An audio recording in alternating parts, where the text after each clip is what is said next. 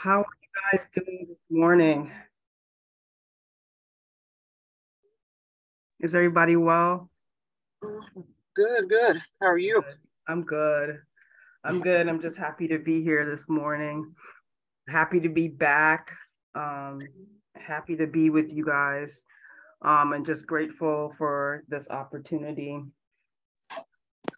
Um, I just want to give a simple testimony this morning. I'm just really thankful for uh, thankful for Morris this morning. I'm thankful for um, just the kind of uh, person that he is. I'm thankful for uh, his dedication to uh, what we do here every Sunday. I know we weren't, uh, we didn't gather together last Sunday, but this morning I was legit just excited um, to come together and to hear um, what he has prepared today. And I feel that way every every week. And so I'm just grateful for him. Um, I was feeling under the weather this week and grateful for just his support and his his care um, while I was sick and now and now still recovering, but on my way to just being back to normal. And so I'm just grateful for the person he is. I'm grateful for what he's doing for us, and I'm grateful for how the Lord is using him and his obedience to to the word. So I'm just really thankful for that this morning. Um, if anybody else has anything they want to be they're thankful for or want to share, now is the time. well, I too am thankful this morning for Morris. And I just wanted to take a moment to t- say thank you to you, Leisha, for doing what you do and to Kyra for doing what she do.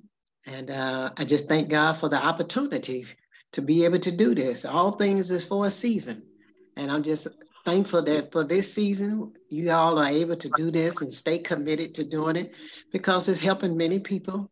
And not just the ones that come on here, but the ones that see it on YouTube and other people that ask about it. And I tell them where to go so thank God for his word being able to go out in many different ways. And all and the three of you play a big part on that. And I thank you for it. I also would like to give God thanks this morning for another day. And I also like to say that this week has been a week of a lot of people giving a lot of attention to the word of God. And uh, I give God praises for that. And thank you for what he's doing, that more people are not just churching it, but they are believing in the kingdom of God, believing in his word, seeing results in their life, knowing that God's word is what it is. It's not just the Bible, and it's just a book that we carry under our arm, but it's the word. And it works wonders in our life when we get to know his word. So I thank the Lord for providing that for us. And I see his word working mightily in many people who have decided to t- make a turnaround in their life and give God the glory and keep him first place in their life because their families are being affected, their marriage is being affected, and that's what we want. That's what God wants. Amen. Amen.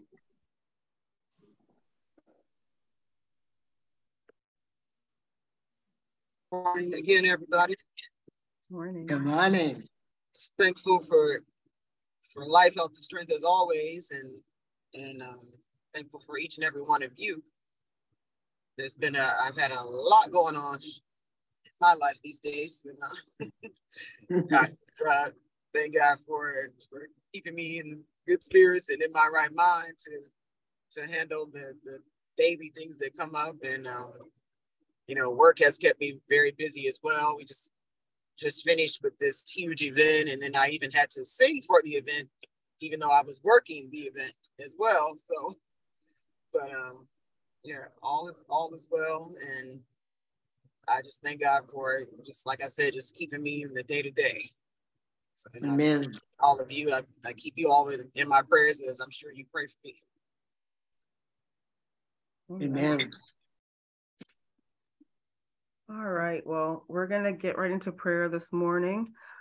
Um, I'm just uh, also thankful just for the opportunity to pray with you guys, to pray corporately, to pray um, together. And so um, I'm just going to take a moment and just settle myself. Um, and I ask you to do your do the same as we focus in on this moment, on the next, you know, few moments that we spend together as we worship and praise, and also as we get into the Word of God today. Um, I just pray for no distractions and for our minds to kind of just um, slow down for a minute and our hearts uh, to settle so we can receive what the Spirit has for us today. Amen. So, Father, we come into your presence this morning with thanksgiving and praise. We thank you, Father, for being the one true God, to being our God, to yes. being King of Kings and Lord of Lords. We yes. thank you, Father, that we are not praying to an idol or to a statue made by hands, but we yes. are praying to a spirit, for God is spirit. And so we Amen. thank you, Father, that you are living and breathing and active and powerful, for you are majestic, you are wondrous, you're compassionate, you're strong, you're mighty. We there's so many words that we could use to express and describe who you are. And so we will do our best today to give you the sacrifice of our lips this morning. Yes. And so we're just grateful. We honor you today. We humble ourselves under your mighty hand and humble ourselves in your presence this morning. Jesus. We thank you, Father, for your goodness is better than life, uh, that your faithfulness and your mercies are new every morning. We thank you, Father, for life, health, and strength, for breath in our lungs, for you are the one that gave us that breath. Yes. It, that the song says it's your breath in our lungs so we pour out our praise to you only father yes. and so we thank you father for that breath we thank you father for your foresight and your hindsight. We thank you, Father, that you are Alpha and Omega, the beginning and the end. And so, even before this world was formed, you had a plan and a purpose for our lives. Yes. We will never not praise you and show our gratitude and our gratefulness for your thank plans for our lives. That even before we were formed in our mother's womb, that you knew us, you knew our substance.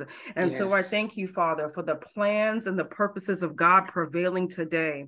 I thank you, Father, that even as we're praying, that the darkness is being pushed back yes, and that your light is shining before men today. I yes. thank you, Father, that wherever uh, your people are, wherever your children are, wherever those who may feel ostracized or far from you, or hearts may be darkened, or minds may be dulled by the things and the emotions and the circumstances of this world, that your light shines and it dispels that darkness and pushes back and they see your face clearly today. Even as we pray today, we send the word to the four corners of the earth today that your light will shine before men. Yes. Your word says that with loving kindness, you will draw all men unto you. So I thank you, Father, for that strong right hand to draw with that yes. loving kindness all men unto you. We thank you, Father, for your son Jesus. Thank we thank you, you, Father, for that, for that, for that manifestation of the wisdom and the power of God on earth. As he was born, the word says that he was called Emmanuel, God with us.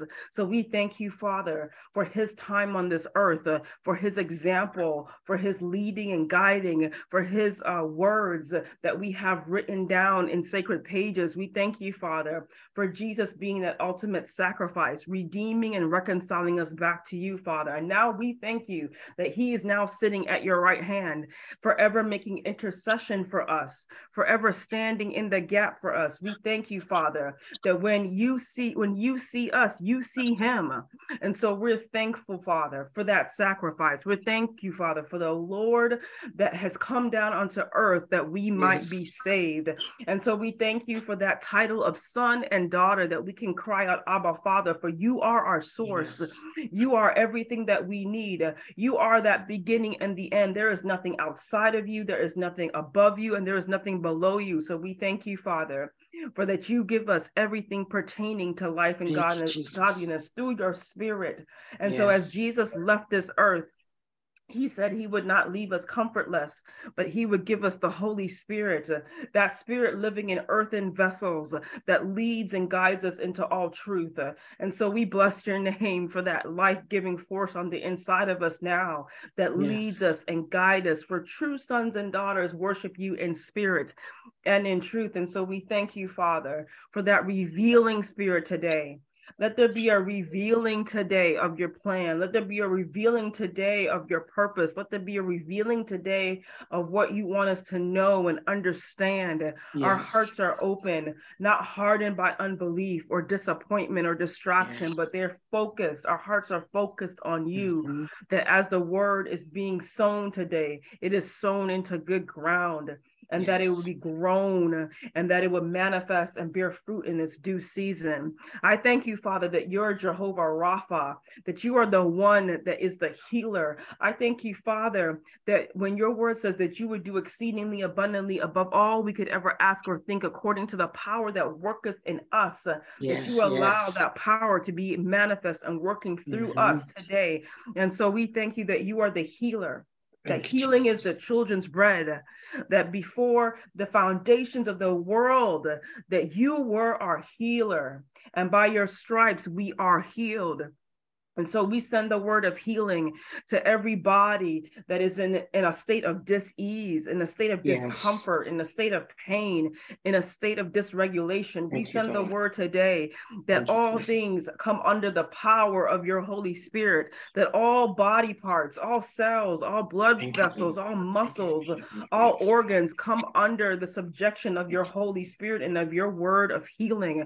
Let there be a revelation of your healing specifically for each and every one who is dealing with sickness and disease, not only of the body, but of the mind. Yes, As there is yes. there is sickness and disease that is ravaging the hearts and minds of men. Yes. There is anger, there is frustration, there is bitterness, there is sorrow, there is anger. So I thank you right now that for thank all you, these Jesus. illnesses, Father, let your word be a word of healing. Let your power be a healing power today. I thank you, Father, that there is a balm in Gilead even today for the sin sick soul. So we thank you, Father, that there is a word of healing. Let your mm-hmm. divine power go forth this morning to bedrooms, to cars, to uh, shopping malls, to pharmacies, wherever people may be. Let there be a divine intervention today. You, let your Holy Spirit be powerful and seen above anything else.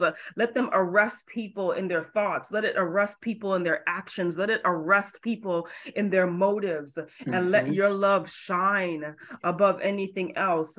So I thank you, Father, for the testimony of healing. I thank you, Father, for the testimony of what you have done. I thank you, Father, for the testimony of your word piercing the natural and allowing the supernatural to be seen, felt, and mm-hmm. heard. Mm-hmm.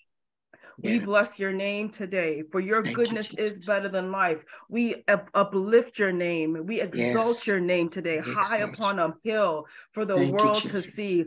I thank you, Father, that in, in, the upcoming days and weeks, there will be such revelation, there will be mm-hmm. such clarity, there will be such leading and guiding yes. by your spirit that men and women will start to turn back to you.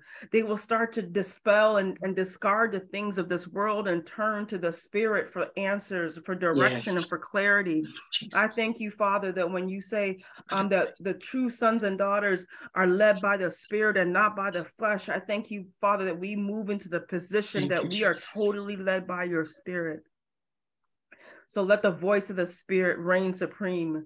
Let it be louder than any other voice. Let all the other voice be silenced under the power of the Holy Ghost today. Yes. So I thank you right Jesus. now for an obedience to your voice, yes. an obedience you, to your word. Let men and women have visions and dreams. Let your voice be loud in their night seasons. Let them wake up with revelation mm-hmm. and knowledge. Mm-hmm. Let the mm-hmm. word open up before them with clarity and understanding. Your word says that if anybody asks for wisdom, that you will give it freely but mm-hmm. we will not mm-hmm. be double minded, unstable in all our ways. Let us believe. Let us trust you, God. Yes. And so we thank you, Father, for the joy and peace in believing who you are. We thank yes. you, Father, for the word that is given when it be brought to us today. Let it pierce our understanding. Mm-hmm. Let it mm-hmm. push us forward into understanding who you are, your mind and your heart towards us and to the to those around us. Yes. I thank you, Father, for a special blessing being upon all those under the sound of my voice who have dedicated their time, their effort, and their and their love and their their dedication to what we do here every Sunday. I thank yes. you, Father, for a special blessing a special endowment upon those here. And so we love you today. Thank you, Jesus. Our hearts are full of gratitude Yes. and praise and thanksgiving today. For you are beautiful in all your ways, and there is none like you. And so we bless your name today. We say hallelujah. We say glory. We say you are our majesty. You are the line of Judah and the lamb that was slain. And so we love you and we thank you for all these things. Thank you. In Jesus' name we pray. Thank you, Lord. Amen. Amen. Amen.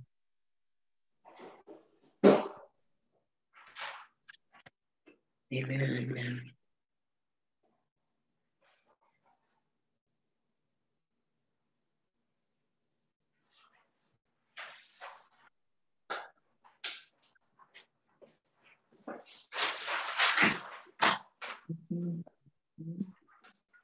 I guess you guys are waiting on me. That's all right. I had my headphones on. I didn't know when she uh when she was done. Well, good morning. Good morning. Good morning. Good morning. Happy Can you hear me? Sunday to you. Huh? I was just making sure you could hear me. Yep. Okay. All right. Well, happy Sunday to you. Excited to get into our lesson today. Mhm. Put my phone on silent. It's been a uh, an eventful weekend. That's the best part of the weekend. All right.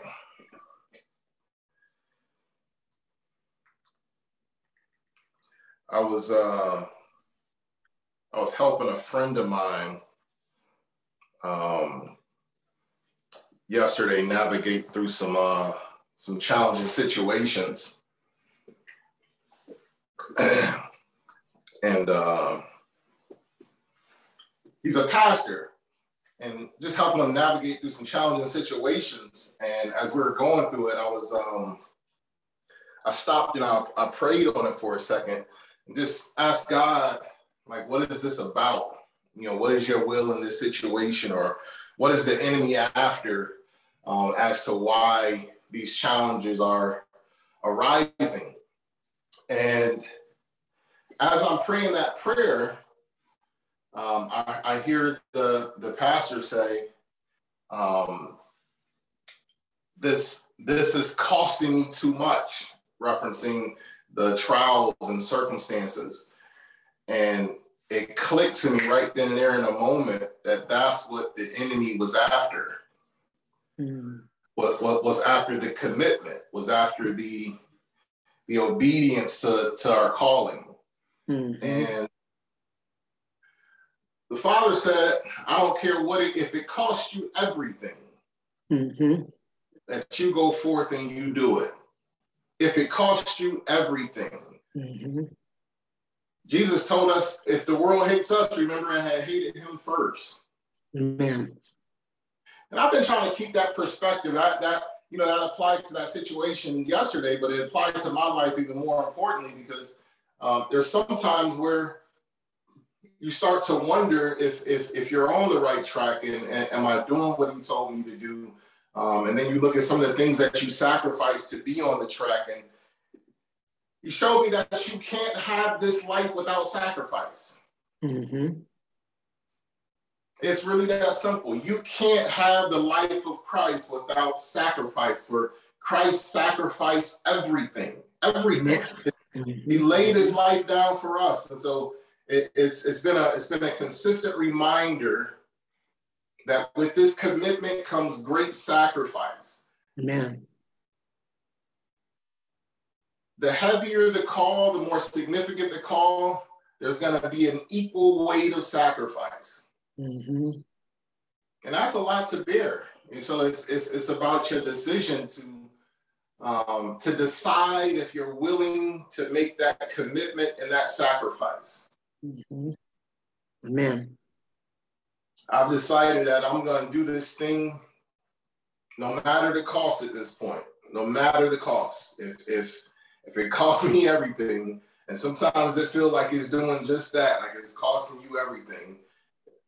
I'm gonna go forward because he did. He paid the cost for us. He made the sacrifice for us, and if we're gonna call ourselves Christians and say we're Christ-like, then we gotta enjoy the sacrifice as much as the glory. Amen. Mm-hmm. All right. Today I titled this, this is not my sermon. I got the wrong sermon pulled up. I titled today um, Kingdom Law. Kingdom Law. And I wanted to talk about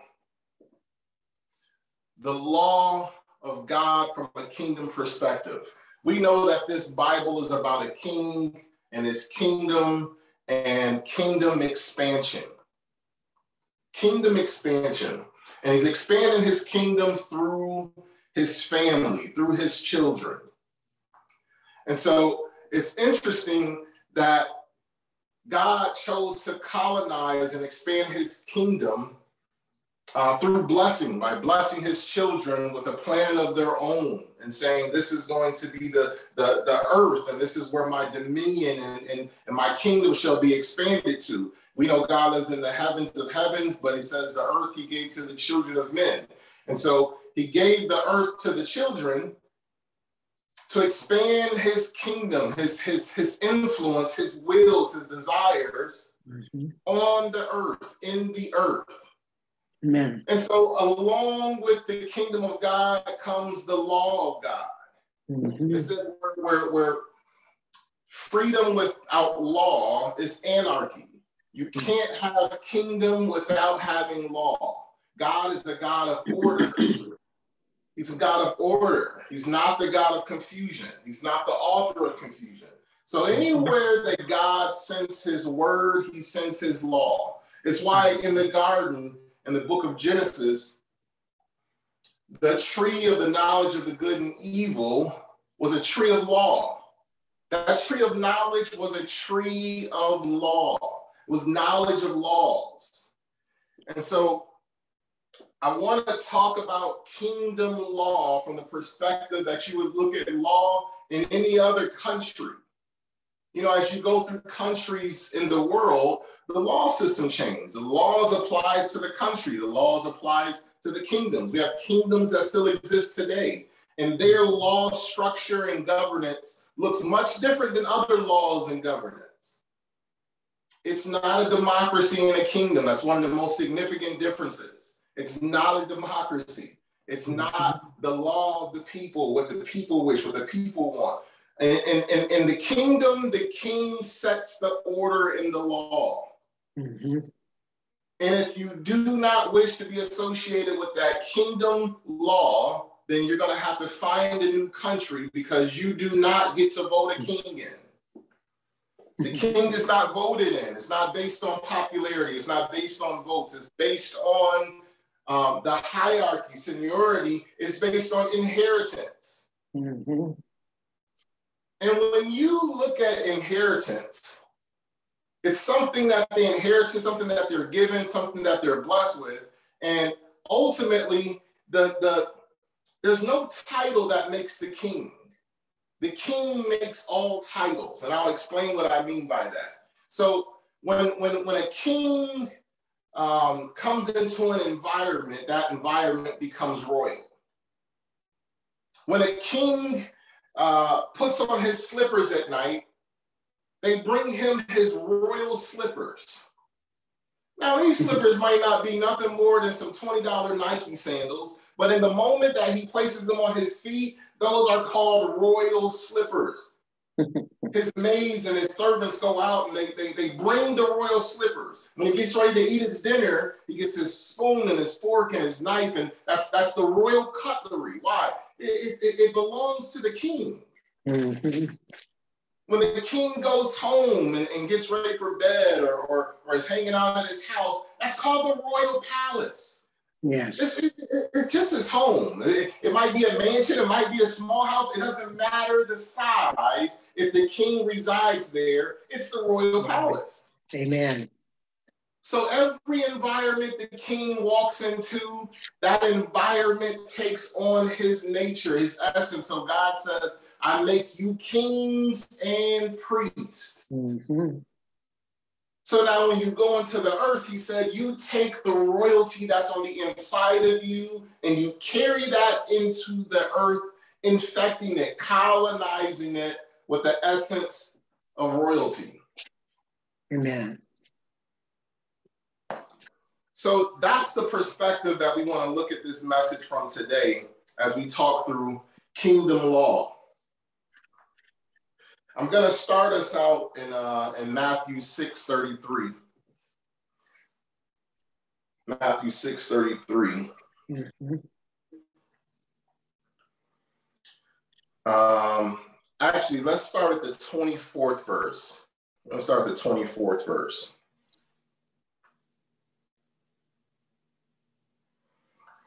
Says, No one can serve two masters. Either you'll hate the one and love the other, or you will be devoted to the one and despise the other. You cannot serve God and money, or God and mammon. Same difference. He starts off and he says, You can't serve two masters. Mhm. We know the scripture says you are not your own. So if he tells you here you can't serve two masters, then simultaneously he's telling you you have to pick a master. Amen. You are either going to be slaves to sin or slaves to Christ. There's no intermediary, there is no gray area, there is no alternative option. You have two choices slaves to sin or slaves to Christ. In either direction, you are a slave. And I don't mean slave in a negative sense.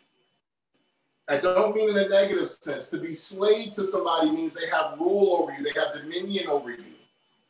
I'm telling you, being a slave to Christ is the greatest inheritance anybody can ever have. There is no greater reward. It's the, it's the crown of all creation to be a slave to Christ. Mhm.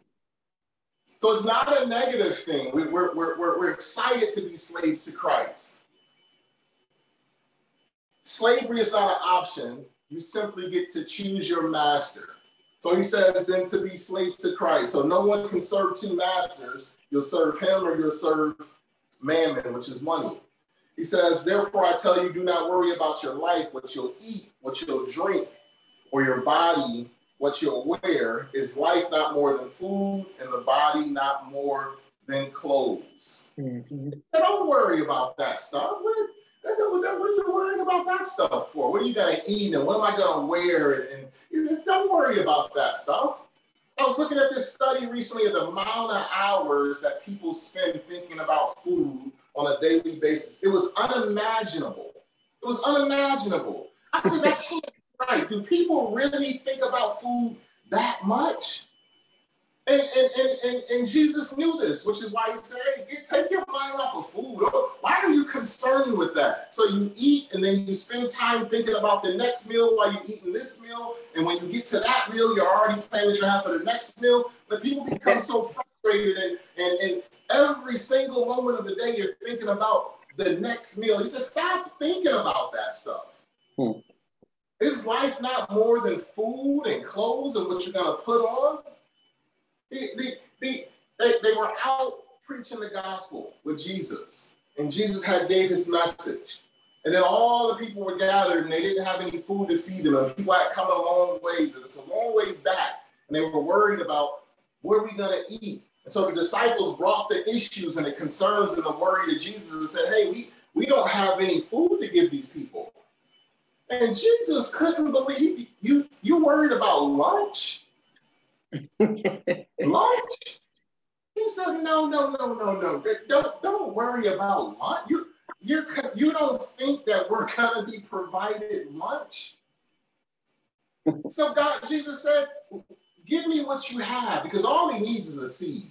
That's all he needs. That's all he ever needs. All he ever needs is a mm-hmm. seed. If, if, if he has a seed, he has enough to provide for anything pertaining to life and godliness. So he said, Give me the little that you have. Why? Because little becomes much when you place it in the master's hands. So I got two fish and five loaves. That's more than enough. Bring it here. And then he provided for the 5,000. He provided for the masses. He said, Don't worry and concern yourself with lunch. God is greater than your concerns about lunch. He said, Look at the birds of the air. They don't sow, they don't reap, they don't store away in barns, and your heavenly Father feeds them. Are you not much more valuable than them? He's making a very straightforward point. If I provide for the birds, will I not feed my children? The birds don't have a physical job. They don't go to work and get paid and then provide for themselves. So they have a dependency on the king. He said, Look at them. Can't you see God in nature? Can't you see that I take care of that which belongs to me? If I do it for them, you think I won't do it for the children? Amen. That's like a parent, that's like a parent in a household feeding their dog daily. Every day you make sure the dog fed. You take them for a walk, you take them outside you use the bathroom, you feed the dog, you feed the dog, you feed the dog. And then when it comes time for the kids to eat, how could you be concerned that I won't feed my own children when you see me feed the dog? Hmm. God said, Aren't you more valuable than they? Can any one of you, by worrying, add a single hour to your life? And why do you worry about clothes? So he gives them the examples of the flowers of the field and how they grow and how they spin. And again, he's using nature to draw a clear cut correlation to that everything in nature depends on him to include you. Yes. To include you. Yeah. He said, watch how they depend on me. The grass don't take care of itself. The mm. flowers don't take care of itself. The animals don't. None of these things. I uphold all things by the word of my power. Amen. Mm-hmm. If I take care of them, please have the confidence that I'll take care of you. Amen. Thank you, Jesus. It says, O ye of little faith. Mm-hmm. O ye of little faith.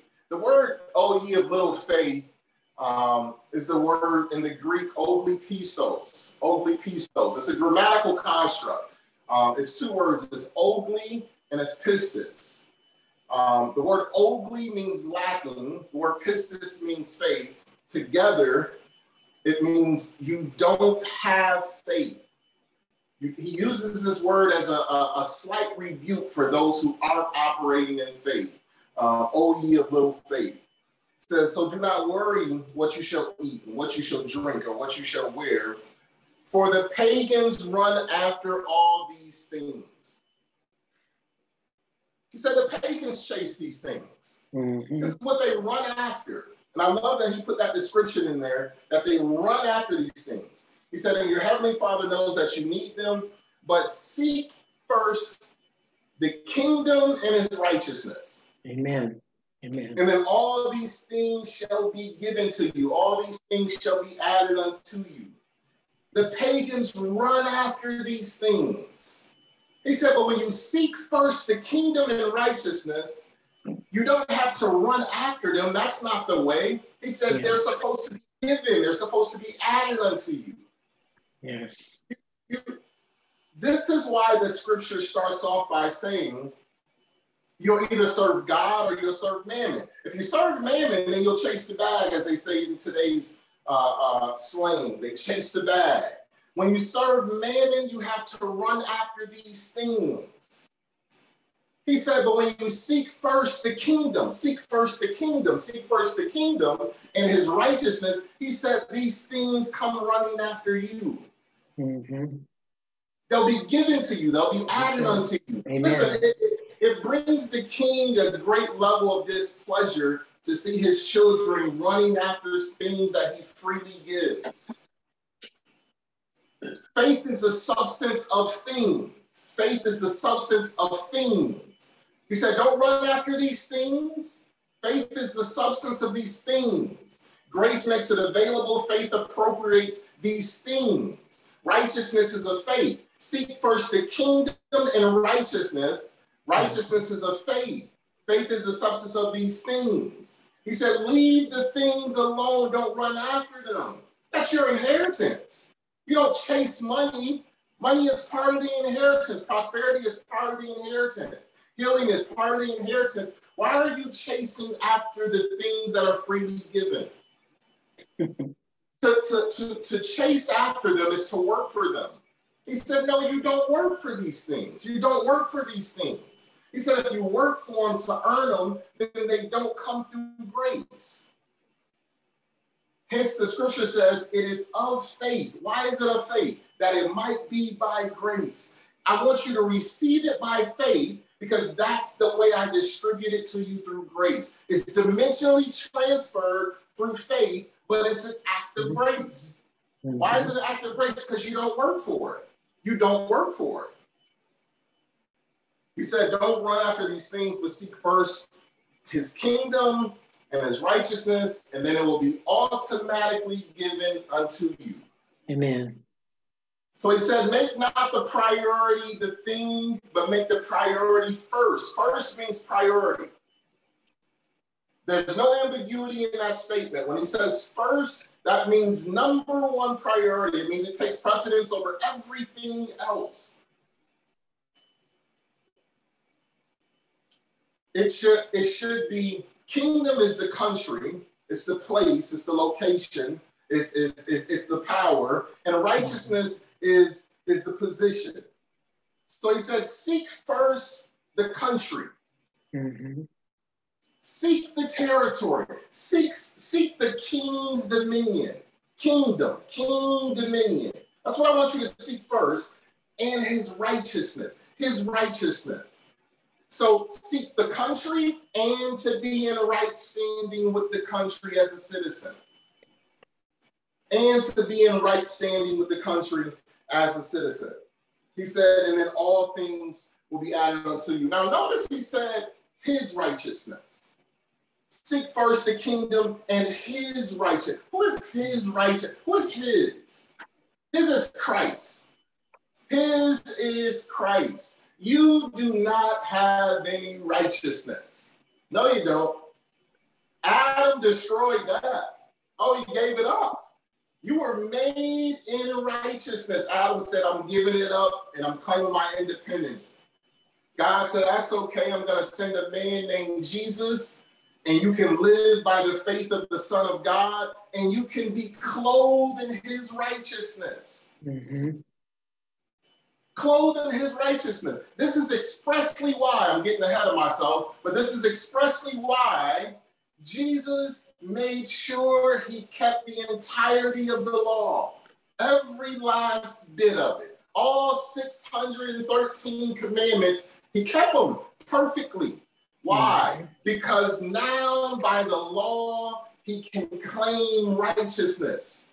And guess what? Through faith in Jesus, you are now clothed in righteousness. When you believe you become one spirit with Christ, that means you're putting on his righteousness. Amen.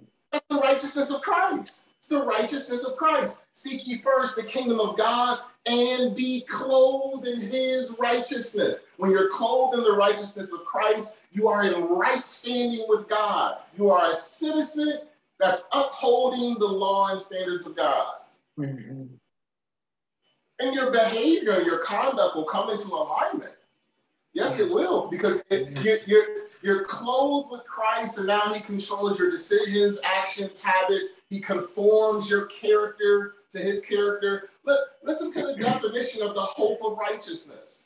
The hope of righteousness. It's the earnest expectation of righteousness. It means to be fully conformed to the will of God. It's man's conformity to Christ. That's the hope of righteousness. What happens then? Christ in you becomes the hope of glory. Christ lives inside you.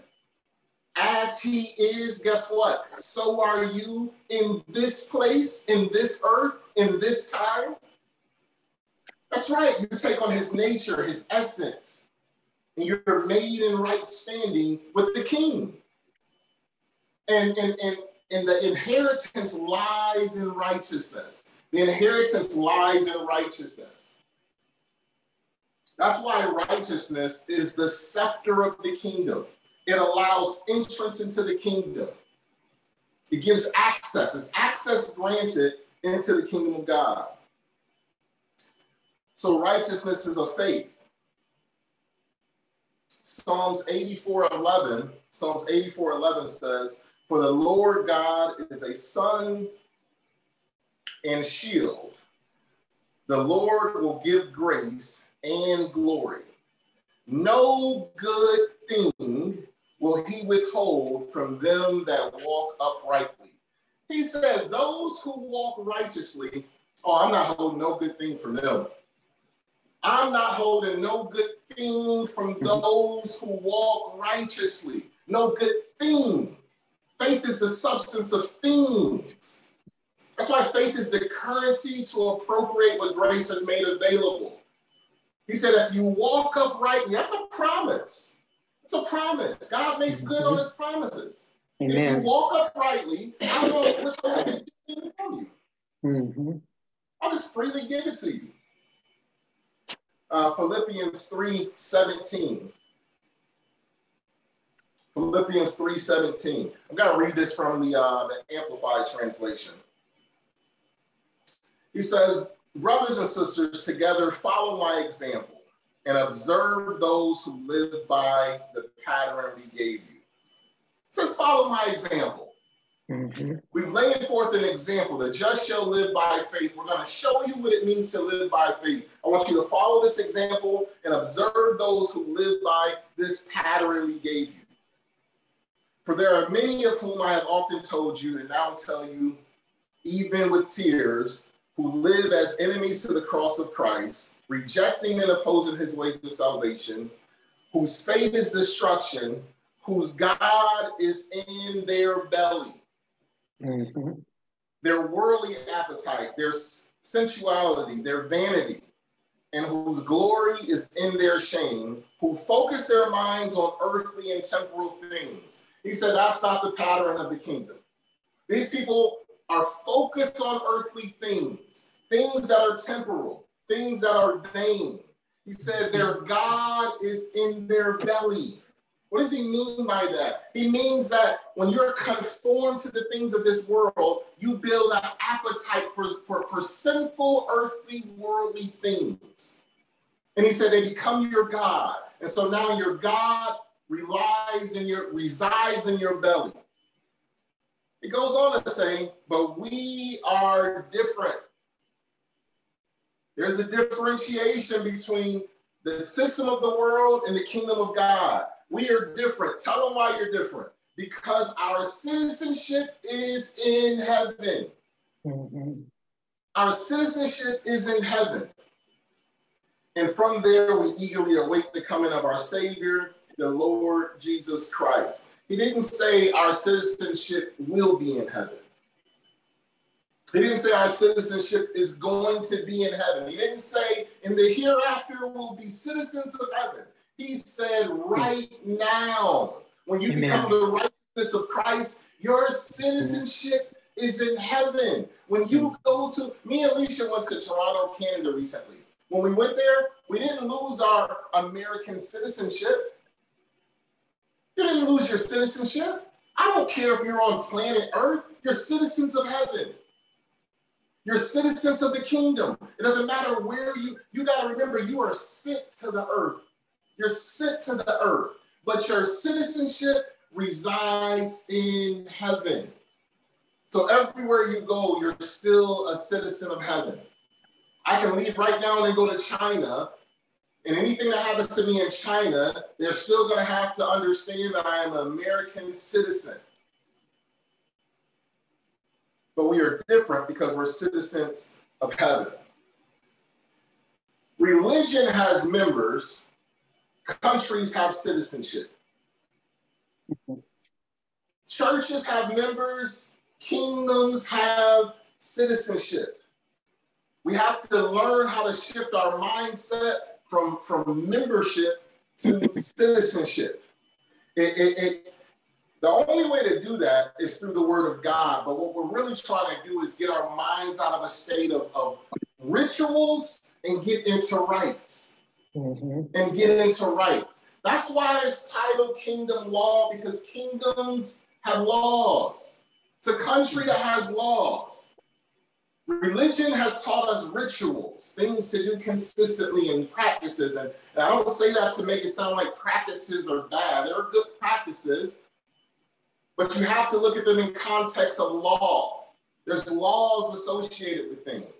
If I want, I got this tablet in my hand. If I want this tablet to have power, well, the law says I gotta plug it in. It's that simple. It's, it's, it's, the laws of power. You got to have a cord and you got to be plugged into something that's given power, and then it charges the device. And that's, that's the law to charge the device. We have to understand laws. Members have no power, citizens do. Citizens have power through rights. Hear people talk to lawyers and to judges and to police officers and it's all about their rights. It's about what my rights are. And when you get pulled over, they, they read you your rights when they try to arrest you. It's all about it's all about rights. So kingdom is government power, but righteousness is government position. Kingdom is government power, righteousness is government position. Kingdom is rulership, but righteousness is relationship. The king dominion is about his rulership.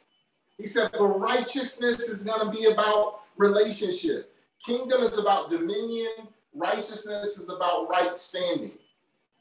Kingdom is control. Righteousness is disposition.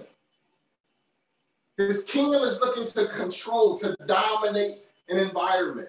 So kingdom is horizontal because let me tell you why I say horizontal, because he sent you to the earth to let your kingdom come. Let your kingdom come so that his will can be done on earth. So it's mm-hmm. horizontal. The kingdom is within. The kingdom is within. And now I'm distributing the kingdom into the earth. I'm allowing his kingdom to come to the earth through me. So that's horizontal. But righteousness is vertical. It's relationship. I told you your citizenship is in heaven. Your citizenship is with heaven. So your relationship to your citizenship in heaven, that's vertical position. So kingdom is horizontal, but righteousness is vertical. Kingdom is king, kingdom is king, but righteousness is priest. But righteousness is priest. Your crown gives you your dominion. But your turban gives you the righteous relationship. It gives you relationship. That's why you say you are both kings and priests. Mm-hmm. Kingdom is power. Kingdom is power. That's so important to know. Kingdom is power. For the kingdom of God is not in word, logos, but it's in the demonstration of power, dunamis. Dunamis is God's miracle working power. I hold all things by the word of my power. Kingdom is not in word. What does that even mean, Morris? What does that mean it's not in word? Word is, logos is potential. It's potential energy. It has power in it. it has power in it. So it's potential. But dunamis is power that's going forth. This power, is power being poured forth. So it's not no longer potential, but it's kinetic energy. Potential means it's full of power, but it's sitting idle. Kinetic means it's power, but it's in motion. So he said, the kingdom is not in logos, it's not in potential, but it's in the pouring forth of power. He said it's in power and demonstration. That's kingdom being enforced in the earth through laws the pouring forth of power. So righteousness and law must coexist. It's impossible to have righteousness without law. So I said freedom without law will always be anarchy. A law abiding citizen is simply a citizen that is in good standing with the government. Emotions do not change law. Amen. The reason why emotions don't change law is because God doesn't change. Mm-hmm. It's the God of law and order. Mm-hmm. God does not change. He said, The words, once they have gone out of my lips, Yes. They can't be changed. They're right. They, they cannot be changed. Mm-hmm. He said, I will not alter the things that have gone out of my lips. He won't alter them. When uh, in Hebrews chapter 12, verse 16, this is actually a really good example of no matter how emotional one becomes, that's not going to move the law. Hebrews 12, 16, it says, Lest there be any fornication of profane person like Esau, who for one morsel of food sold his birthright. We know the story of Esau and his brother and how he sold his birthright. It says, For you know that afterwards, after he sold his birthright for some food, he wanted to inherit the blessing, but he was rejected. Now, listen to this. For he found no place for repentance, though he sought it diligently with tears. This hmm. man is destroyed. You sold your birthright for some food? That's, that's, that's unthinkable. And then when he comes to the knowledge of what he did, it says he sought repentance, a shift in direction. He wanted to reverse what he had done. He yes. sought repentance with many tears. He's crying and he's crying and he's crying and he's crying, but it makes no difference. It makes no difference. The law stands. You sold the birthright and it stands. You sold it. He said he sought repentance with many tears, and we do this often. We do this often. God is not always moved by your emotions and your tears and your lengthy prayers and, and, and your sorrowfulness. And, and he said, My son, my daughter, there are laws to this thing. Amen. Amen. There's rules to this. I, I, I, can't break the rules for you. I'm sorry. I can't break the rules. He allowed his own son to die to avoid breaking the rules. Why couldn't God just snap his finger and turn back what Adam had done? Because mm-hmm. there's rules, mm-hmm. there's laws. God is bound by his own laws. They don't like that statement. They don't like that statement. He's God. Nothing, nothing is above him. Nothing is greater than him. Oh, really? I exalt my word above my name. Don't tell me he's bound by his own laws. Mm-hmm. That's his decision, though. He, he decided to do that. He said, when I speak something, it becomes governance to me and everything else around me. Mm-hmm. It's governance. So if I said it, now I'm bound to do it. Why? Because I can't lie. Yes. God cannot lie. He don't have it in him. It's not in his character. So if I say it, I'm bound by it. And I think this is sometimes where it talks about, and, and it repenteth the Lord, and it repenteth the Lord, and it repenteth the Lord. Why does it repent the Lord? Because his law, his words have consequences. And even if that word that goes out of his mouth if it causes destruction, which it sometimes do, he still has to uphold it because it's his word. Mm-hmm. He said the wages of sin is death. Yes, death brings destruction to mankind. He said, I'm sorry, I gotta uphold it. It's my word. I can't take it back. Thank God that I that I, I, I foreseen this happening and I created a sacrifice in, in, in advance, but I still gotta uphold my word. Mm-hmm. I got to keep my word, you know. It's, it's, it's nothing more. If I break my word one time, two things happen. Everything falls apart because everything is held together by his word. Complete, utter dissolution, destruction, disaster, chaos if he breaks one word. I said, I can't break my word. Second things that happen if he break his word once. If he goes back on his word once, you can never trust his word again. Yeah. You can never, you can't have complete, you can have 99.9% confidence, but you always remember, remember that one time he went back, this might be, so you can't have absolute confidence. And there's a potential that he might go back and he said, I'll never break my word. Mm-hmm. He saw it with many tears and repentance, but he found it not. You can cancel your rights when you violate law. The violation of law always cancels out rights. Life is not hard, obedience is hard. When you understand the law and you understand obedience, life becomes easy.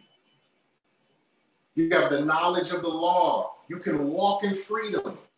You know, it, it, it, it, was it was challenging when you first learned how to operate a vehicle because you had to learn so many things. You got to learn the instruction of the vehicle, when to push the gas and how far to push the gas, and, and how to use one foot to switch back to the brake, and when do I put my turn signal on, and and, and am I too close to this car? And, and which lane do I turn in? And when I come to the yield, do I do I gotta wait for him? And, and when it's a red light, you know, can I go through the yellow? You gotta learn all the laws associated with driving. Mm-hmm. And so it's a little scary and you're a little nervous and it takes practice. Yes. But man, I tell you, if you've been driving for a year, you don't even think about the laws. You don't think about it. Why? Because it's been embodied. Yes. You don't think about what you're doing when you're turning. It's automatic. Your eyes see the road and how far you got to go, and you automatically, you, you're not even conscious of it anymore. You've driven so many places unconsciously. You're not thinking about it, you're just doing it. Mm-hmm. You don't think about switching your foot from the gas to the brake. That's natural. The laws are embodied. That's a significant difference. Before you had to think of every little rule, every little law. Is my hands in the right position? Is my foot switching at the right time? You're paying attention to every single little law until they become embodied.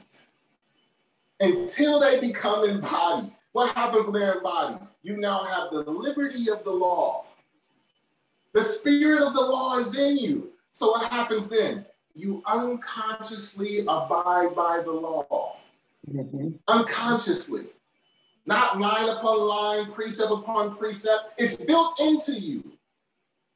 That's how God made creation. He built the laws of a thing in the thing. Amen.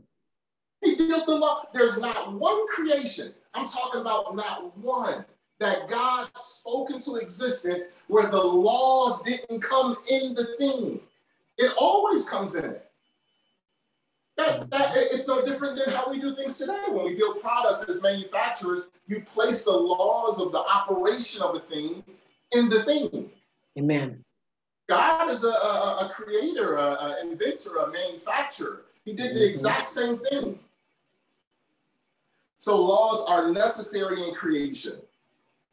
We all must obey laws because learning the laws have become essential to life. Absence of law always brings the beginning of destruction. The absence of law brings the beginning of destruction. Think about a mango seed for a second. When you have a mango seed, which has a, a mango tree on the inside of the seed, you place the seed into a, a, a glass of, of a cup of coffee. I take the mango seed and I put the mango seed in my cup of coffee. The tree is still inside the seed. Mm-hmm. That didn't change. The tree, the mango tree, still resides inside the seed, but it can't become what it's designed to be because the seed was not created to live and grow in coffee. Mm-hmm. I, I need you to understand this concept because it don't change the essence of the seed. It's just not obeying the laws of growth. There's laws of growth. The laws of growth, there's laws of germination. It says that that seed cannot germinate in coffee. Why? Well, the law says seeds need soil in order to grow in order to germinate. They need water, not coffee. So I place it in coffee and I can have all the expectation I want. That mango seed is going to become a mango tree. Father, in the name of Jesus, I said, let the seed grow. I said, let the seed turn into the mango trees. I can smell the mangoes today. I don't care how many words of spiritual righteousness that come out of my mouth. That seed ain't turning into no mango tree. Why? There's laws. There's laws. You know, you pray about so many things that have laws associated with them. He says, son, just you got to understand my law. You got to, you can pray, but you got to understand the law. There's laws associated with it. Father, help me. Father, bless me. There's laws associated with blessings.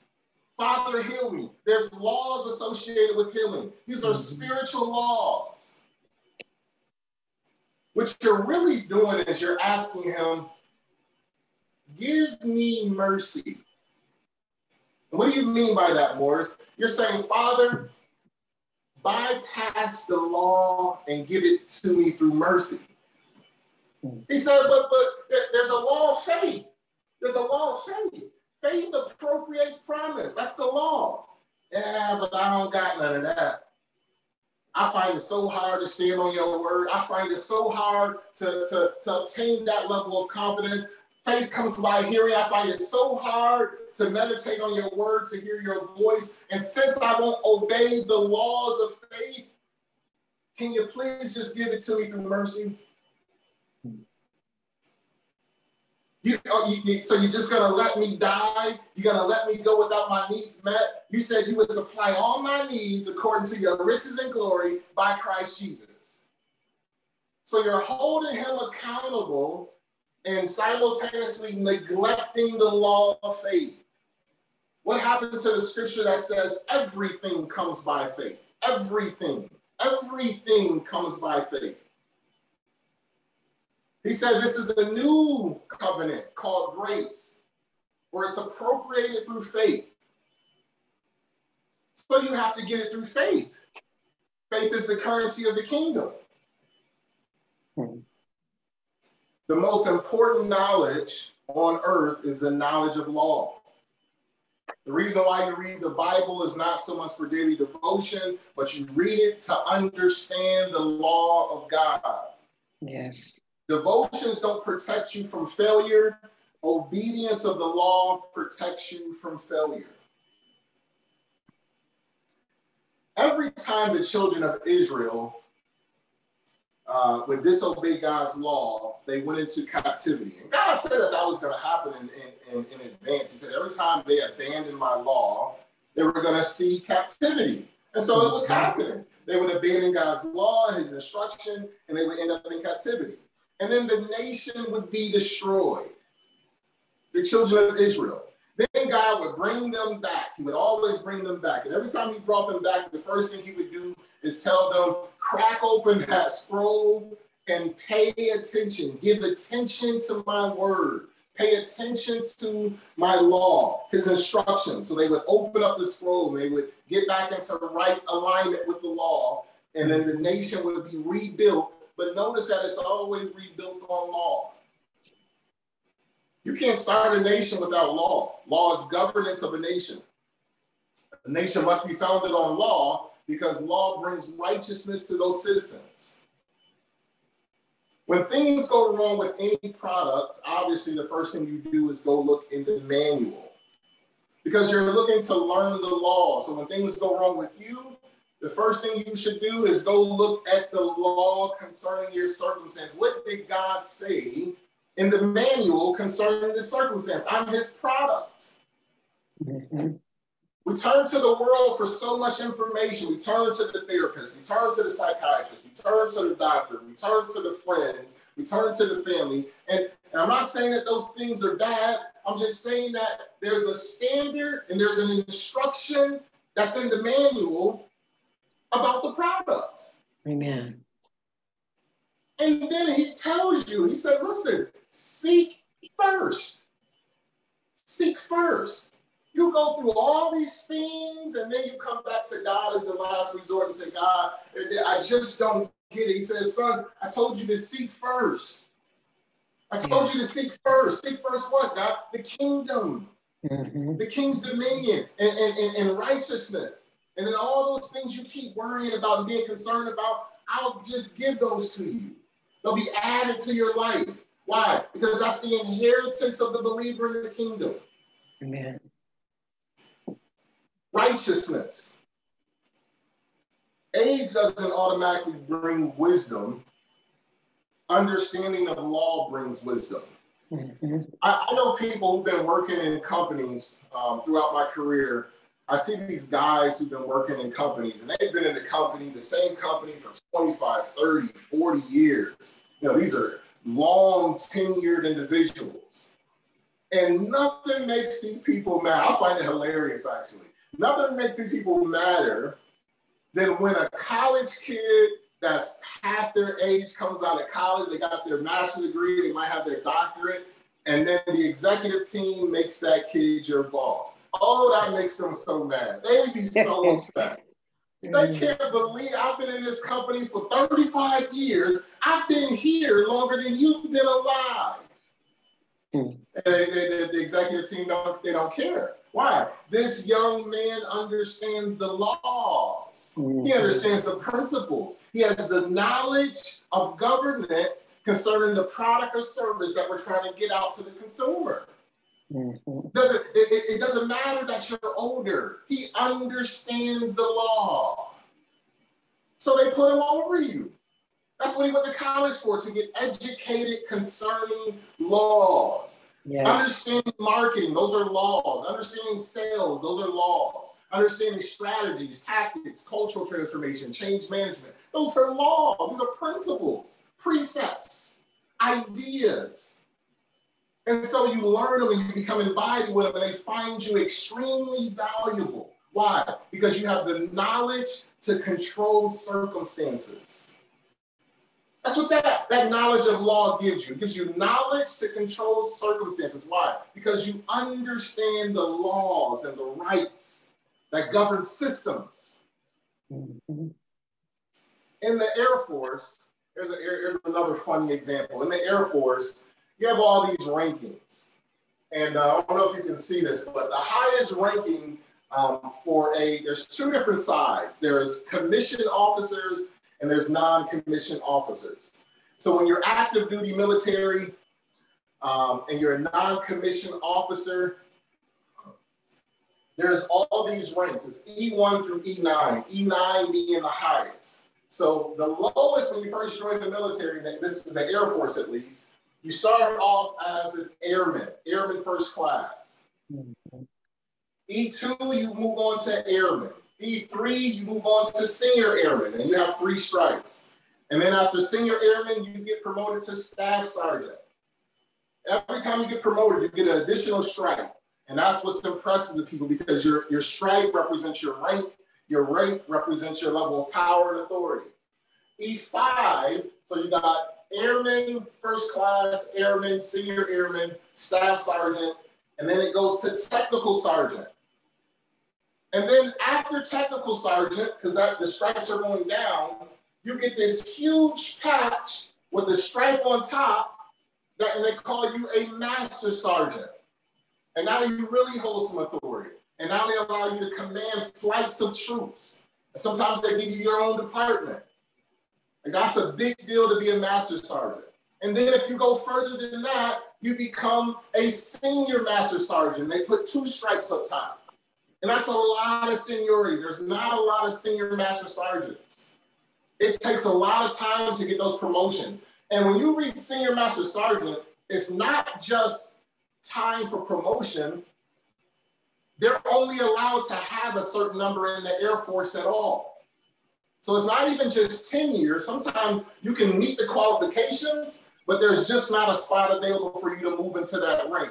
And then after senior master sergeant, all the way at the top is chief master sergeant. They put three stripes up here. So now your whole sleeve is just full of stripes. There's no room left. And when you see the chief coming, hey, you carry some honor when you achieve. You got all your badges on your shirt. You see the chief coming. Hey, chief, how you doing? Everybody want to speak to the chief. It's a pleasure to shake the hand of the chief. You don't even become a chief until you spend at least 24 years in the military. It takes a long time to be chief master sergeant. Mm-hmm. Only, what is it? 1.25% of the military reach chief master sergeant. Only 1% ever make the chief master sergeant. But then you have a few that actually make it. Now, watch this. A chief master sergeant in the Air Force. He's been in the Air Force 25 years. He has the respect of everybody on the Air Force base. But then there's another side of the fence called commission officers. Commission officers. Their ranks are different. This is your first lieutenant, second lieutenant, captain, major, lieutenant colonel, colonels, generals. That side of the fence are meant to command. A first year butter bar, they hate that term, butter bar lieutenant outranks a chief master sergeant. 23 years of service, 25 years of service, armed full of rankings. And this guy comes in out of college. Mm-hmm. He got his bachelor's degree. He ain't nothing but 23 years old. Mm-hmm. And the chief master sergeant better snap to attention and salute that lieutenant every single time he sees him. Why? He outranks him. Doesn't matter how many years of service, don't matter how many stripes on your sleeve. By law, he outranks him. So the chief reports to the lieutenant. Now they have mutual respect with one another, but it doesn't break the law and the command given. And they give it to the lieutenant. They give him that order. They give him that authority because of the laws and knowledge that he went and obtained to hold that position. I even seen one time, um, you know, chiefs a lot of chiefs hold this swagger about them. And, you know, they've been in the position so long and they get so much respect that some of them don't respect these young lieutenants that just came out of college.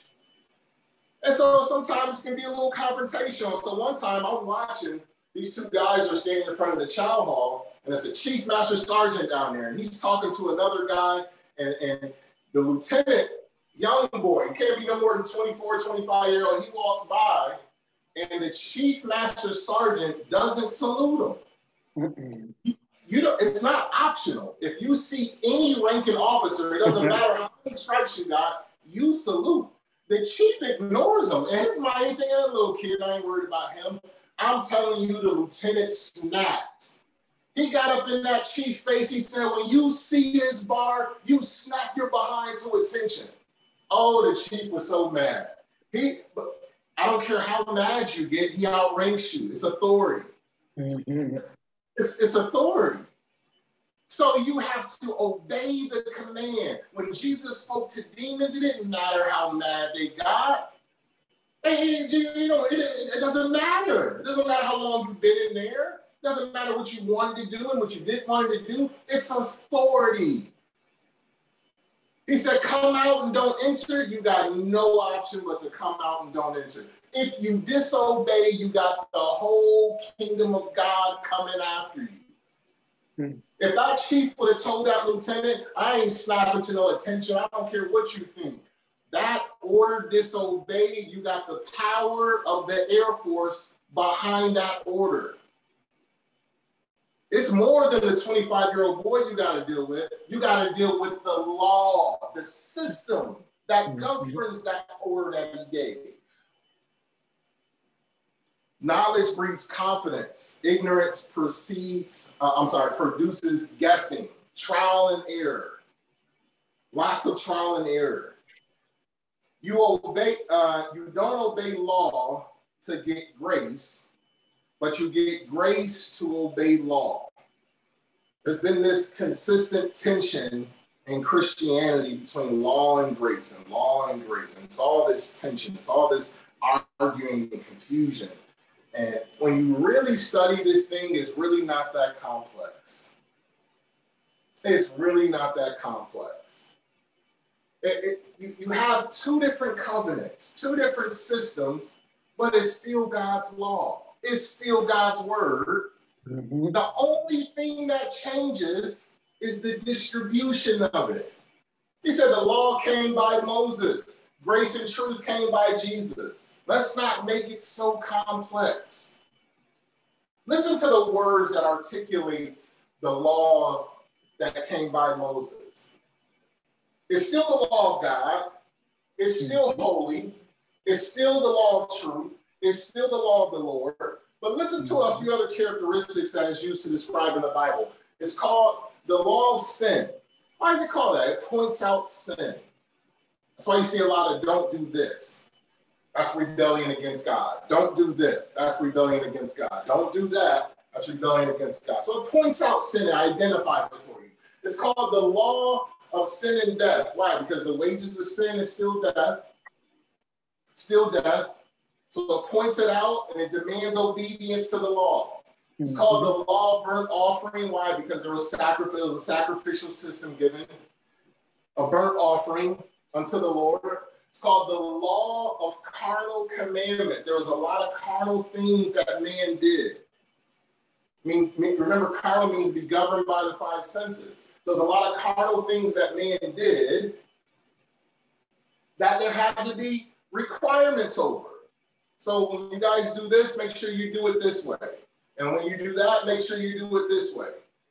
And you got to remember, it's, it's, it's, it's an aggregate. So you have the Ten Commandments, all the additional 600 and something odd uh, ordinances are just an aggregate that goes into the 10. It's, it's all, you can categorize, if you just wrote the 10 commandments up there, all the other 600 and some odd commandments fit right into the categories. Mm-hmm. It was rules and, and, and requirements to help you keep the 10 because he's articulating a way of life. So when you go out, that's why it's called the law of carnal commandments. Is the carnal things that you do, there's still order associated with how you do them. Now listen to the way under the new covenant the laws are described. He said, This is the law of faith. Faith comes by hearing, hearing by the word of God. He calls the law of faith. The law of liberty. The law of liberty. Where the Spirit of the Lord is, there is liberty. So it's a law and a system and a governance that relies on the Spirit of God. It's called the law of the Spirit of life. The law of the Spirit of life. Jesus said, The words I speak, they are spirit and they mm-hmm. are life. It's still law, it's just proceeding out of the mouth of God. It says this is the law of Christ. Christ governs you now. You're slaves to Christ. He becomes master, he becomes dominion, he, he, he's the wisdom and power of God. It says, This is the law of thy mouth. If I could, if you ask me what was the one major differentiation between this system and this system, I would pick the law of thy mouth. The commandments don't speak. Talking about the laws of Moses, that's the, that's the one of the biggest difference because what he speaks out of his mouth creates an empowerment. What he speaks out of his mouth enables the word to become flesh. It is the reason why you can now have an embodiment of the word out of his mouth. When it's spoken to the heart of man, the effects of his word make sure that it's written in the heart of man. That's the transforming effect of it coming out of his mouth. Mm-hmm. What did Job say in Job 22 22? He said, Receive what? The law out of thy mouth. Yes. Out of his mouth. So it's a different, it, it, it's still the law. Mm-hmm. It's 1127, so I'm, I'm going to do a part two to this. We're going to go way further into the law and the governance and some of the differentiating factors um, because there's no way we're going to make it through it today. I'll just get through some of the other major points and then we'll do a round two next week. The blessing of a thing is in the instruction. The blessing of a thing is in the instruction. You gotta remember in Genesis, he said that he was going to bless them. And then he gave instruction right after saying he blesses them. The blessing is in the instructions. Hey, be fruitful, be fruitful, multiply, subdue the earth, have dominion. The instruction is the empowerment to execute the instruction. The words he speaks are spirit and life. When he utters a word, it, it, it's, it's the rhema word being spoken. Well, I thought rhema was the utterance of the spirit. It is. God is spirit. God is spirit. When God speaks, that spirit speaking, so that's still the utterance of the spirit being spoken. It's just that it's dimensionally transferred now because he's in heaven, you're in the earth, place the Holy Spirit in you. When he speaks, the Spirit hears and declares what the Lord has spoken. That's still the rhema word being spoken in the heart of man. That's still the commandment being written in the heart of man. Can you say that again? You said the instruction is the what? The empowerment? Yes, ma'am. The, the, blessing is in the instruction because the instruction, when God instructs, He simultaneously empowers you with the ability to execute what He spoke. If God, Jesus said, Come to Peter, that's an instruction. He said, Come. The, the moment He said, Come, Peter just obtained the power to walk on water. Mm-hmm. He's only walking on water because he's he's carrying out the instruction. If Jesus never says come, Peter never walks on water. The, the, the blessing, the power was in the instruction. Come, oh, that means I can come. Go, that means I can go. Every time God gives instruction, he just released the power to carry out the instruction. I can't wait for the day he tells me to give somebody a million dollars. Tell me to give him a million dollars, God, because that means you just released it to me. Amen. He has to. You can't tell me to do something without giving me the ability to do it. That, that's not how, that's not his nature. Please tell me to get that. That's why he wants you to pray for other people pray for other people because through you, he'll bless them. He'll release it to you to give to them, but he always releases in abundance. He'll give you enough for them and still plenty enough for you. Amen. If you don't got it to give, pray for them so he can give it through you. It's in the instruction. He said, My this is Proverbs 4 20 through 22. Proverbs 4 20 through 22. He said, My child, pay attention to what I say. Listen carefully to my words. Listen carefully to my words. Do not lose sight of them. Let them penetrate deep into your hearts. He said, It won't penetrate deep into your heart until you give attention to them and listen to them. Meditate on them. It'll penetrate to your heart. Now, look at what the word does when it penetrates into your heart. For they bring life to those who find them. The words that I speak, they are spirit and they are life. They are spirit and they are life. They are spirit and they are life. He said, when you meditate on them, they penetrate your heart, they bring forth life. They bring forth life to those who find them and healing to their whole body healing to their whole body. I told you this thing is all about laws. If, if, if, if somebody's need of healing, the word has to go forth. It has to go forward. It has to penetrate the heart. He said, once it get in there, it, it, it will provide healing to the whole body. John uh, you know what? I'm going to come back to that scripture. We only got 10 more minutes.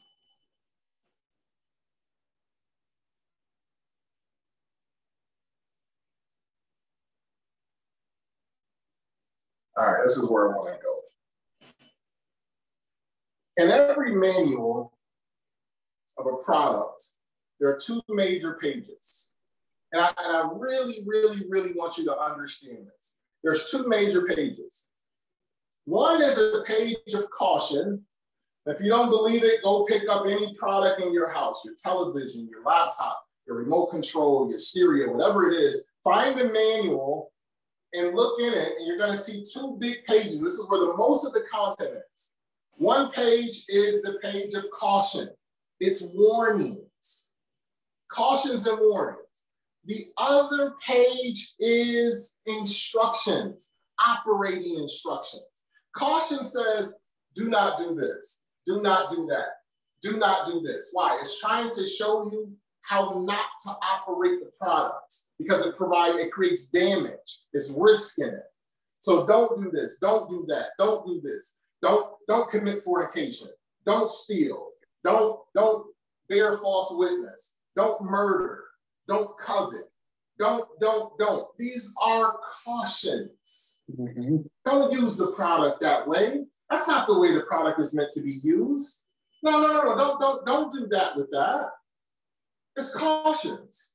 Every manual have a do not list. It, it, it's, it's necessary because humans have a tendency to mess everything up. they just love to experiment. They one, you don't read the manual no way, so you just be experimenting. and when the when the product gets damaged or the product causes damage because of your misuse of the product, now you've got a problem with the manufacturer. And he said, hey, if you would have looked in the manual, I told you don't do that. Mm-hmm. Don't do that. I told you not to kill. I told you not to steal. I told you not to, to, to, to lie. I told you not to cheat.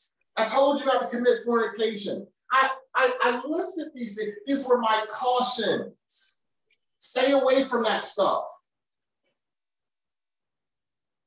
If you purchase mm-hmm. an iron, an iron that you iron your clothes with. It's going to have a caution page. It's going to tell you uh, when you plug in the iron, make sure your hands aren't wet. Mm-hmm. Now, listen, it's your iron. It's your iron. You paid your money for it. If you want to put your hands in the dishwater and then plug the iron in, it's your business. if you want to get in the bathtub and, and I don't know why you do it, you iron your clothes while you're in the bathtub, it's crazy to me, but it, have at it. It's business. but the manual will say that you can shock yourself. Electricity is flowing through that thing. It says that you can create significant bodily harm if you do that. But you're allowed to do it. You're, you're free will, right? Yeah, you can, you can do it. You can commit mm-hmm. fornication.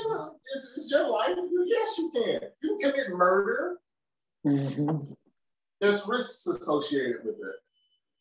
There's, there's risks associated with it. Amen. He said, don't do these things because they're harmful to you. On the other page, you have operating instructions. It says, do this with this product. This is what this button does. This is what this operation does. This is what this process does. Do this, do this, do this, do this. Much like this system that we have right here, isn't it? We have a lot of don't do's, and then we have a lot of do's. The do's do not cancel out the don't do's. I come not to abolish the law. Mm-hmm. I ain't getting rid of the cautions. I, I, I'm not saying don't be cautious. I'm not saying that these things can cause harm. I'm not, I'm not taking those away. I didn't come to abolish them. I came to fulfill them. What does that mean? I came to show you how to operate so that these things don't happen. I came to show you how to properly operate the body Amen. to avoid the things that, that, that, that, that Moses and the prophets cautioned you on. Mm-hmm. I came to fulfill it. I Amen. came to be Amen. the example. Hey, you dry your hands first, son, then you plug in the iron. That's what you taught your children. Your children, we're children. We're his children. He said, I came to show you how to do it. Don't do it that way, son. Do it this way. Hey, before you pick that up, put put put this here. And, and it, I'm sure I am the example. Amen. Amen. I'm showing you how to do it. Let me be the pattern. Now, now here's something beautiful. Notice what Jesus says. Jesus says, I only do, and I'm going to write this word up here because it's, it's beyond critical. This word only. It's very straightforward. There's no misconception on what this word means. It's literal, it's not metaphoric. I only do what the Father shows me. I Mhm. only say what the Spirit tells me to say. I, I mm-hmm. do nothing, nothing. And there's mm-hmm. nothing that I do that's of my own will. If I if I mm-hmm. go here, it's because I was sent there. If I say this, it's because it's what I heard. I don't do anything that I'm not instructed to do. Mhm. I am not my own. I do what's pleasing unto the Father. He says, Go and I go. He says, Come and I come. He says, Speak and I speak. He says, Sleep and I sleep. He says, Pray and I pray. Whatever he says, I do. Nothing else. Those who are led by the Spirit of God, they shall be called the children of God. If you only do what the Spirit says, if you're only led by the Spirit, you do not need the do nots. The do nots don't go away. They don't go away. They're not abolished. But you don't need to be paying so close attention to the do nots if you only do the do's. If, if you focus and your whole life is guided by the Spirit, which not many of us can say that. But when Jesus said, I only do this and I only do that, which is all spirit led, he said, the spirit takes into account. He knows the laws, he knows the caution. He will never lead me in the way of sin. He'll never lead me into the way of sin. Mhm. So if, if, if he guides my life, now I'm living the law of the spirit of life. I'm living the law from his mouth. He leads me and he guides me and what I should do and what I should not do. It's the conviction of the spirit. We don't have to fight about the difference between the law uh, that came by Moses and grace and truth through Jesus. Jesus said it upholds the law. Mhm. He shows you how to keep it. It's the law of righteousness. The only, the only challenge is, I told you that is Christ's righteousness. He said, if there was a law written that could bring forth life, the Spirit gives life. The Spirit gives life. If there was a law and the laws of Moses that could give forth life, then righteousness would have been by the law Mhm. righteousness would have came by the law. But you're, it, it requires the law of the spirit of life to renew man, to renew man to be righteous with God. Mhm. So he said, I'm going to shift your direction. I gave you the laws of Moses so that you can understand sin, so that you can see, so that there can be transgression. But now that grace and truth has come, he said, you are no longer under the law, but under grace. Now he's going to lead you. He's going to guide you. He's going to direct your path. He's going to show you what to do. He's going to show you what to, to not do. He said, it's no longer your schoolmaster. That's now the job of the Spirit. It's now the job of the Spirit. Uh, that's John 6 6 3 that says, The Spirit it's the Spirit who gives life, the flesh profits nothing. The words I speak are spirit and they are life. Um, Psalms 32 and 8, the Lord says, I will guide you along the best pathway for your life. This is a commitment of God. I'm going to guide you along the best pathway of your life. I, I, I, listen to the accountability. I will advise you. I will advise you. I'm your advisor. I instruct, I direct, I lead, I guide. This is why the law was the schoolmaster. You didn't have the way of the Spirit. The New Testament says, until the way of faith had come, you were shut up unto the law. There Right. was no guide. There was no guidance of the Spirit. There was no instruction from the inside out. So you needed a schoolmaster. Yes. Fine, great. The schoolmaster gave laws. Listen to this scripture here. And this is an important one. Let's skip down a little bit. Come on, where you at? There we go. This is Second Corinthians chapter 3, verse 6. 2 Corinthians 3, 6. I'm going to read it from the Amplified because it gives a better articulation. It says, He has qualified us, making us sufficient as ministers of a new covenant of salvation through Christ. It says, Not of the letter of a written code, but of the Spirit. We know the scripture says, For the letter killeth, talking about the law, but the Spirit giveth life. It says, the letter killeth by revealing sin and demanding obedience. That's what the law did. It revealed sin. Look at your sinful ways, and it demands obedience to the law. God will always demand obedience. I don't care what covenant you're under. It reveals sin, and now it demands obedience. That's why the scripture says sin is the transgression of the law. Where there is no law, there is no transgression. God wanted you to be aware of the sinfulness of sin. Demanding obedience, but spirit gives life. Look, look at what it says here in Leviticus. This is Leviticus 5:17. It says, suppose you sin by violating one of the Lord's commands. Even if you are unaware of what you have done, you are guilty and will be punished for your sin. I don't care if you're aware of it or not, it said. I don't care. If, if, if, if I do something illegal while driving a car and I hit another car, I can't tell the judge I was I, I was unaware. You don't care. You still held accountable. You don't get a pass because you said I was unaware that that was the case. No, you still get a fine. I was unaware that, that the speed limit was 65. I was going 80. I was unaware it was 65. Fine, you were unaware, but here's your ticket. He said, even if you're unaware of what you have done, you are guilty and will be punished for your sin. My God, that's a lot of laws to memorize, man.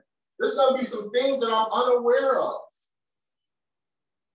But but but but to him that knoweth to do good and do it to not, to him it is sin. To him it is sin. And under this new covenant, where the, the Spirit wants to guide you and, and, and take accountability for what you do and what you don't do, and take accountability for the, for the corrections. He wants to give you the warnings and the instruction, co-operating the body being the guide, telling you where you go, telling you what you should do, telling you what to say. And Jesus said, I've come to show you how to live according to this new system of grace. The law is still holy. The law is still righteous. It just don't have the capacity to make you righteous. Righteousness is a faith. The scripture says, plain as day, the law is not of faith. Faith comes by hearing, hearing by the rhema word of God. That's not the law of Moses.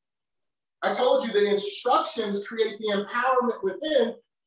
The law can't do that. So it becomes the law of, of, of, of condemnation, is referred to. The law of condemnation, the law of sin and death because it's pointing out those things and demanding obedience. And the Spirit says, I, I give you grace to keep the law.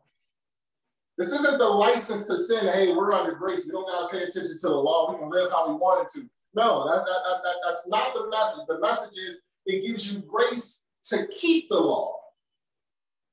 So you're doing something that, that that's against God's will, and then the Spirit wants the opportunity to convict. It wants the opportunity to correct.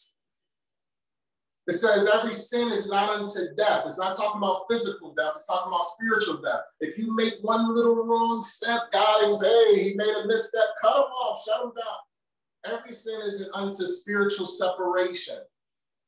Why? Because he gives us grace as children. He gives us an opportunity for correction. Under this system, good luck, Charlie. He said, under this system, you break one, you've broken them all.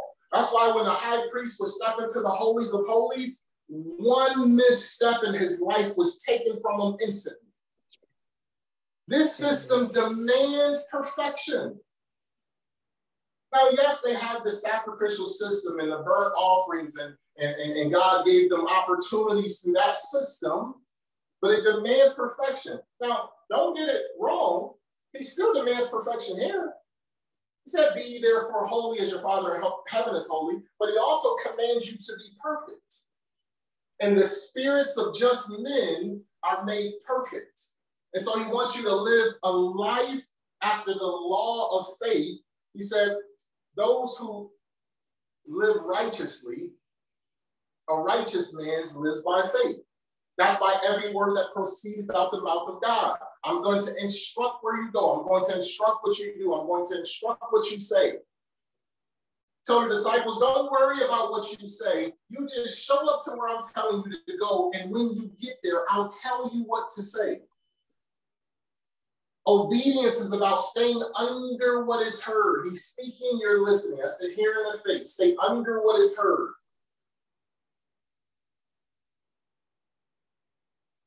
Um, Romans 3.21 says, but now the righteousness of God without the law is made manifest, being witnessed by the law and the prophets. I'll tell you one thing that's significant. The disciples asked Jesus, what's the most important law? What's the, what's the heaviest? What's the most significant?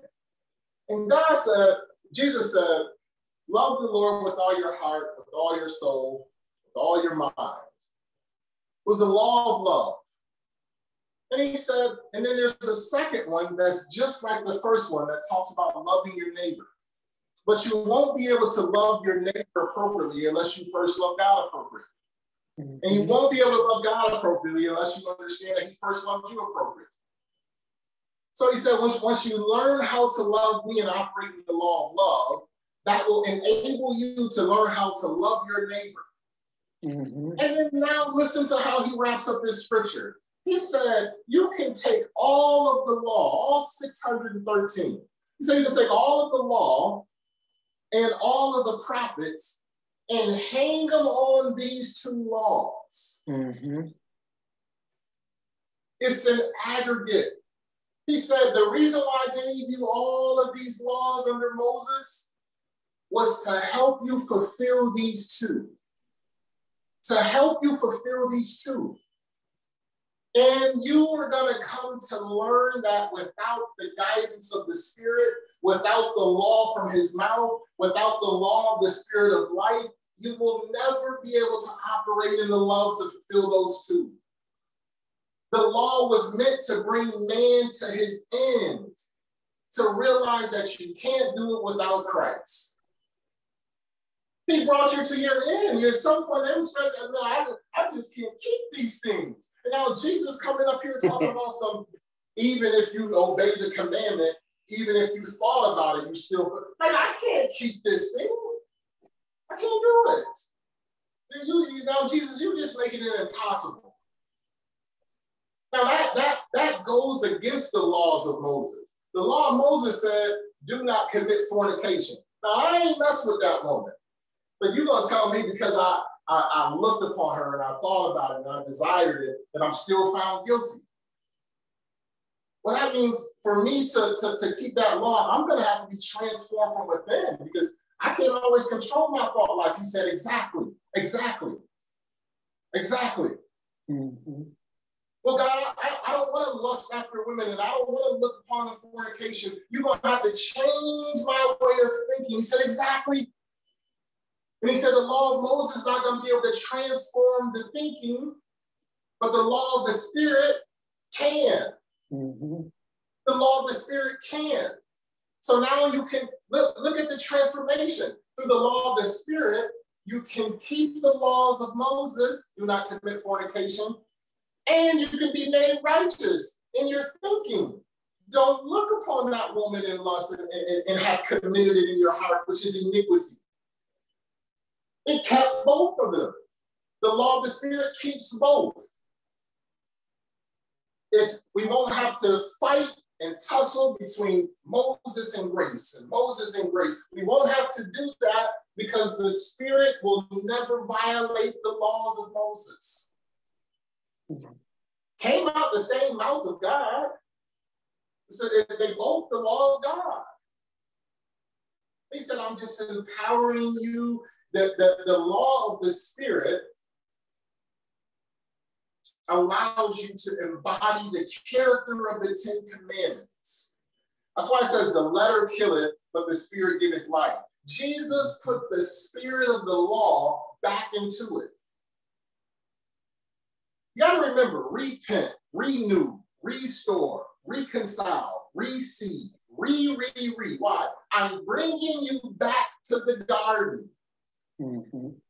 I'm bringing you back to the garden. In the garden, God did nothing more than instruct. Hey, Adam, you can do this and you can eat that and you can do this and you can name these animals and you can do that's operating instructions. And then here comes the caution don't touch that tree. That's a commandment. But he wanted to raise his kids himself through his instruction, through his correction. He know how to chastise, he know when to chastise, he knows when to instruct, he knows when to give sympathy. He knows when to give empathy. He knows when to bring wrath. He knows what's best for his children. He placed you under this law so that you could see the need to be brought back to Christ. And when the way of faith came through Christ, the law handed you right over and said, There you go. Now make them perfect in Christ so that they can keep the law, so that they can keep the law. 1155. I think I'm going to wrap it up there. Pick it up again next week. Um, let me make sure there wasn't one last, one last point I wanted to make. I think that's a good spot.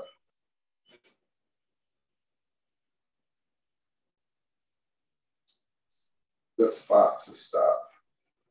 Um, yeah, last scripture uh, 2 Corinthians 11 3. 2 Corinthians 11 3. Because I was just talking about the garden and him bringing us back to that. And 2 Corinthians 11 3 says, But I fear lest by any means, as the serpent beguiled Eve, so your mind should be corrupted from the simplicity that is in Christ.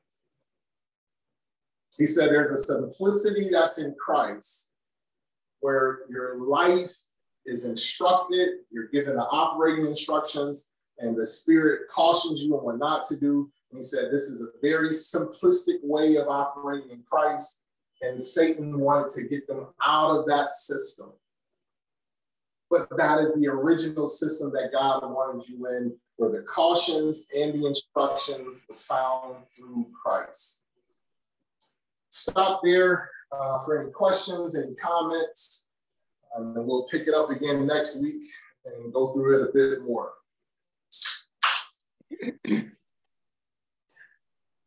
Okay, well, thank you for the lesson. That was a good teaching on the kingdom. And I just want to say that um, in the Old Testament, there was a law that said that uh, hus- brothers had to marry their wives if one died. So when mm-hmm. so when one of the stories, uh, this man didn't really want to, and he was supposed to go in to be with his brother's wife, mm-hmm. and he went in, but he refused to do what was needed to be done with her, and so mm-hmm. he fell dead right there on the spot. That's right. So, I mean, if we were still living under that law, a lot of people might act a little bit different. but God gave us grace and his love, and he wanted to show us a lot more mercy, give us chance after chance, praise God. And I just hope that many of us would take advantage of what Jesus did for us and, and be grateful. You have to come to know him to know and to be grateful. Other than that, you just think it's just something that we're just doing. But I do, I do pray that people will get a close encounter with the Lord and understand his great and wonderful, beautiful benefits that he has given us. Thank you for the lesson. Praise God. Thank you. Uh, thank you very much. I there's a lot that you said today that I still have to kind of mull over and think about, but um, to just make sure I articulate what I took away in a in a in a clear way. But a couple of things that just stood out to me, um, and you said it very well. You said at the beginning is that slavery isn't an option. You just choose your master. Mm-hmm. And um, slavery just that word slavery just seems so extreme. There's so many things that the word of God says that I think we gloss over or pass over because it feels or seems extreme, but yet uh, we basically comply by those rules and those systems on a daily basis. If you live a life that is the majority of your life disconnected from the voice of the Lord or from his leading, and the majority of your life is spent not in devotion or in close proximity to him, you are under the rule of something else. Mm-hmm. Your thoughts, decisions, habits, everything else is still under the rule of something else. And so we often think about slavery being extreme, but there was always something trying to control us. Mm-hmm. There's always something trying to um, exert its influence over us. And that's why a lot of people talk about the battle is for your mind. Um, but it's it's really the battle for what you're who you're going to listen to and who you're going to follow. And so I just wanted to underscore that that every single thing we do, every single thought we have, everything, every single decision we make is under is the result of some kind of influence. And when we talk about the righteous man, the man is righteous because he lives by every word that proceedeth out of the mouth of God. It's it's really enlightening the fact that the only way that we are righteous is if we can hear. And the only way that we can hear is if we are in a position to hear from him. Because if we're not hearing from him, we're hearing from somebody else. Mm-hmm. Um, and the other thing I wanted to just talk about is that so the same thing around about about being righteous. Um, the law, which is the law of the spirit, um, as we understand it in the new covenant, gives you the knowledge to control circumstances. That was a a major point for me. We all want to control our circumstance. We all want to control and have the ability to change things that we think are not good, are not right, are not beneficial um, in our lives. That's the internal struggle we have every day that things happen to us or happen around us that we don't agree with or we don't like the law of the spirit of life gives us that blessing, that empowerment, that word that's released gives us the empowerment to change the world around us. And when you talk about kingdom being about dominion, that's what it is. It's about being in a mm-hmm. position for you to release the power that has been deposited in you to change the circumstances around you. We're just doing it for the kingdom of God instead of for the kingdom of darkness. Amen. And so mm-hmm. the law not being abolished, but Jesus coming to fulfill the law allows us to have that power at our disposal through Christ living on the inside of us. So I really appreciate those two comments. There's many more, but I got to spend some time reading and studying to kind of piece them all together. So I appreciate it. And can I say can I say one thing off of what Leisha just said? Um, yeah. This this uh, slavery just think if if we had a this is a spiritual choice that we're making about slavery but just think in the natural if our ancestors had had an opportunity to choose their own master who they wanted to be under at least jesus give us a choice god is giving us a choice they didn't get a choice they they were bought paid for and you became their slave now we get an opportunity to decide who we want our master to be. Yeah, and I That's think, right. and I think to your point, like I, I, I sound like a broken record in my mind, and sometimes I feel like I'm a broken record in these when we come together. There is always a natural example of of the kingdom. Slavery mm. is a great one because when we were enslaved, we were indoctrinated into the cultures of the masters that we that we were under. Yes. We were we acted a certain way, spoke a certain way, did certain Mhm. things, didn't do other things because the master dictated the culture. Amen. He dictated how we lived our lives. And we had laws to live by. Same with the kingdom. But our minds want to say in this modern world, like that just sounds too extreme. Mhm. But we're slaves to something. Amen. It's just what we choose to become slaves to. Mhm. Amen. And, and going off of what you just said, Leisha, about the um, being indoctrinated, that's that's uh, a big issue when it comes to some people, um, their train of thought about Christianity and and the black man, or you know, black people. That they want to say, well, that's the white man's religion, you know, because of how it was taught or how it was brought, I should say, to slaves you know, un- unfortunately, that they were given the version that they wanted them to know about at that time. Mhm. So, so, yeah, that's a, a big deal, you know, that we have to rightly divide and, and understand it on our own for, you know, the the word as it was meant to be presented. That's right. Amen. That's right. Yeah, that's, that's why I keep saying that, that statement that um, freedom and independence are not synonymous. That true freedom comes on the back of complete dependence. You know, a, a slave depends entirely on his master, entirely for his food, for his sleep, for his well being, for his clothes, for his shelter, entirely. And so Christ says, I want you to depend entirely on me. Mhm.